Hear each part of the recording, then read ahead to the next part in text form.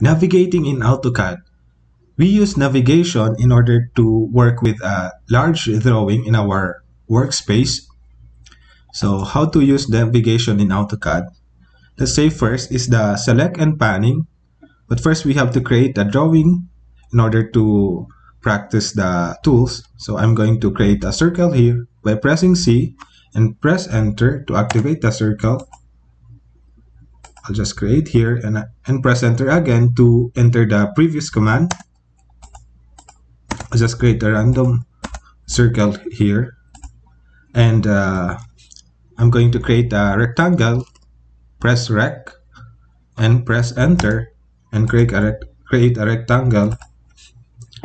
Now how to use the navigation in AutoCAD of select and panning. You can use the select and panning by clicking the scroll bar, click it and hold and you can move around.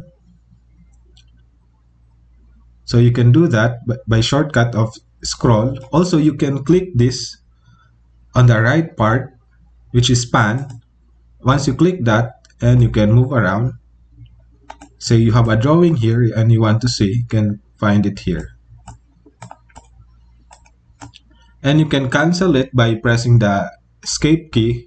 Press escape key and it will cancel the command. Second is selecting the drawing. Let's say i'm going to select this circle. You can click it and by selecting it you can click this also. You can hold shift if you, if you want to deselect this. As you can see, there's a minus symbol there, so you can reduce the selection by holding the shift and select by left click. You can press also ESC to deselect all the selection. So you can do that. Now, let's create a selection window. There are three type of selection which is selection window, crossing window, and lasso selection. First is the selection window. You can click on the on the top here and hover to the bottom left select window is let's say I'm going to select this but half of this circle it will select only within that rectangle which is the the selected uh, object but since I select half of this it will not select this one. So you can press ESC to cancel that. The crossing window is let's say I'm going to select this.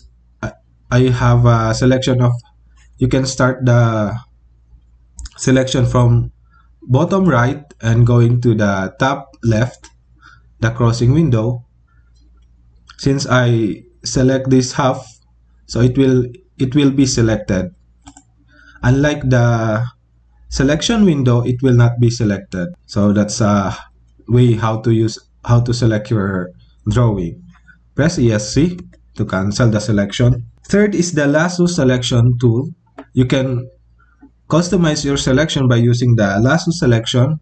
Click on this and hold the click and you can create a shape. Let's say I'm going to, all, to select all the circles but the rectangle I will not select it. So you can use the lasso selection tool or the lasso selection. So you can do that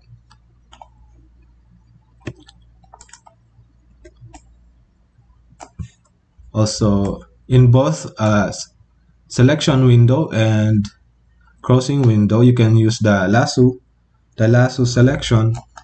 Also in order to zoom your drawing you can uh, you can scroll use the scroll bar. Scroll up means to zoom and scroll down is to zoom out. Zoom in to scroll up. Zoom out is to scroll down. Also you can find some tools here. Let's say full navigation wheel. It will show a wheel. So you can zoom orbit for 3d pan. You can move around. But it's easy to use the mouse only. Also pan zoom extend. It will extend the drawing.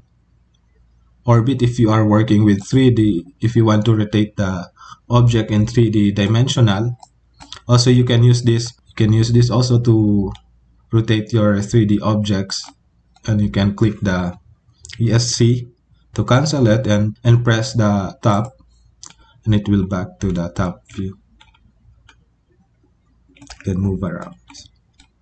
So that's navigating in AutoCAD. I hope this video tutorial helps you. Don't forget to like and subscribe. Thank you for watching.